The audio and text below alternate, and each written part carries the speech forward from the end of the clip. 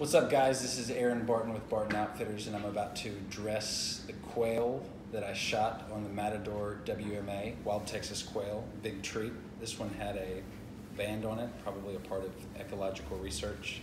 Uh, first step is to pull the breast skin apart to expose the breast. And then the zero step just kidding. The first step is to cut the head off. And cut the wing off. The other wing I already cut off and deposited at the WMA per the regulations. And then you can peel the skin off the bird like so.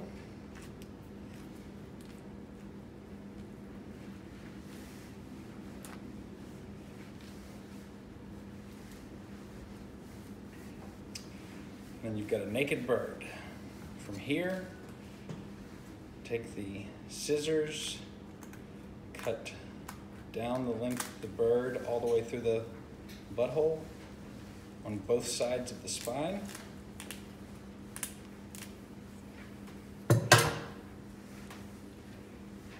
Stick your finger in the breast cavity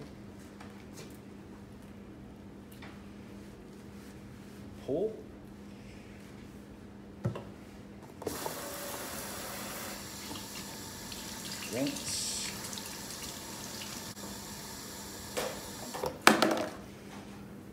And cut both of the legs off at the joint just below the thigh.